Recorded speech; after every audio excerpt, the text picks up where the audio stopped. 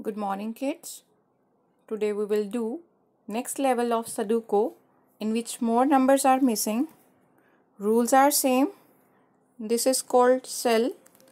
This is called row and this is row called column and this is called block. What we have to do? We have to fill the numbers 1 to 4 in each row and in each column but we should take care no number can be repeated in any row or in any column or in any block. So let's start. First of all, take this row. 4 is here and 2 is here. 1 and 3 are missing. But we cannot write down 1 here because 1 is already here in this column.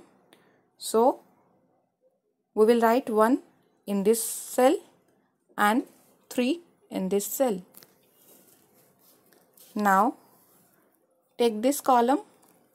This is 3, 1, 4. So which number is missing?